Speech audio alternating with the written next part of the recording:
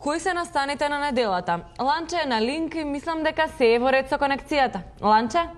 Да, студи, оваа недела како и минатата е по-актуелна. Режија? Повторно не го слушам.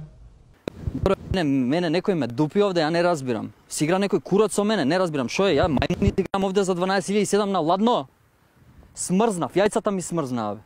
Значи, у кур, не, знаеш не, не можам и кој курац бе? Исто е, исто е. Мислите дека нешто ќе биде поразлично? Исто е, све се договараат. Све се договараат, све знаат што ќе се дешава. Све знаат, нас не ебат. Режија? Имевам гс мајчину пичка да имевам на сите. Тргнал тој фикусот се вратил од од Египет се вратил, голем кур. Голем кур ако се вратил од Египет. Еј, страшна работа. Ке си отидам ке има да жалите по ланче. Режи, ова стварно нема смисла. Пес ланчо. До курац 500 пати. Значи, кој кур, значи до толку ли не можете да, да запамтите 5 месеци бе ланче, ланче, лан... Режија, пренесете му на ланче дека го слушаме, ме молам. О, ланчо. Значи, јас сум ланчо. Дедо ми бил ланче, јас сум ланчо. Режија, пренесете му на ланче дека го слушаме. А, да, студи оваа недела како изминатата е полна со актуелности. Господинот Ѓорги Иванов што току се Се извинуваме. Продолжуваме со вестите.